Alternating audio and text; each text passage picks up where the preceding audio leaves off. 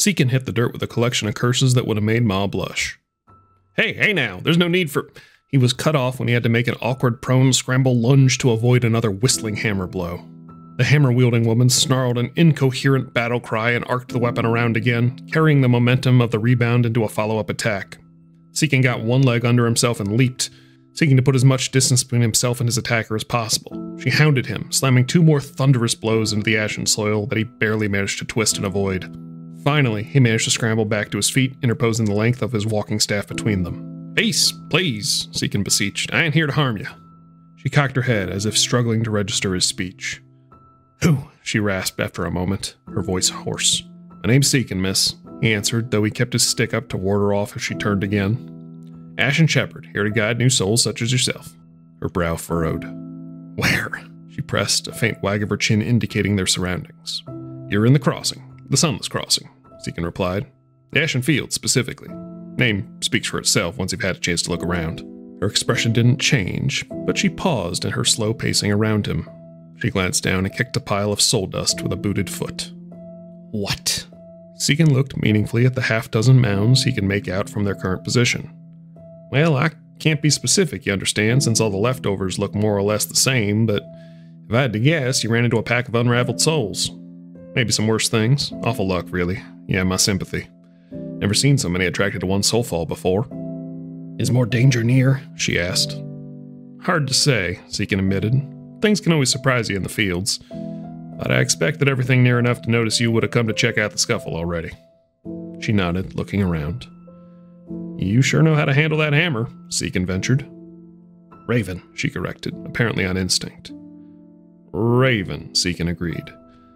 Good to have a name for a piece as fine as that. How'd you come by it? I don't know. He frowned again.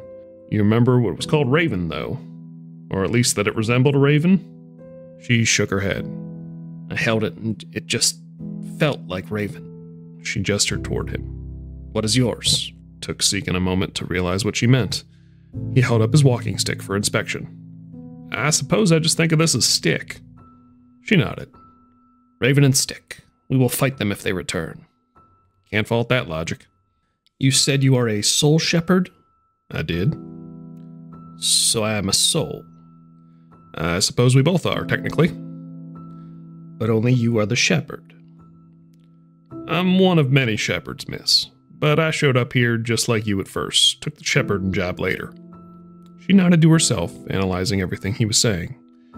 I do not know how I came to be here she stated, her tone blunt and matter of fact. Or where I was before. Do you? Seekin doffed his cap and rubbed his scalp anxiously. I can answer part of that, he began. We all wind up in the crossing for a reason. It's kind of a between place. Some souls need to stop here on their way from one plane to another. Little detour. Between where?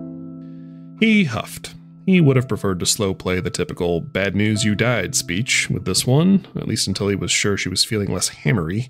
But keeping her in the dark wasn't going to help anyone. Between your life and whatever's waiting for you after, miss. He waited for the pin to drop. And waited. She just stared at him, as if expecting him to continue. Er, which is to say you died, I'm afraid? Condolences. She looked down at herself, then up at him as if he was a simpleton. I seem alive. Uh, yes, here, because the crossing manifests us as. You, you know, sorry, this is my fault.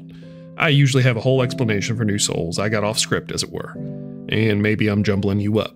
Let me put it this way What's the last thing you remember? She looked around at the mounds of soul dust. Fighting? Before that. Raven. And before falling. Of course. And do you remember what happened before your fall? No try? She considered and then shook her head. I fell. I was attacked. I met you. There was nothing before.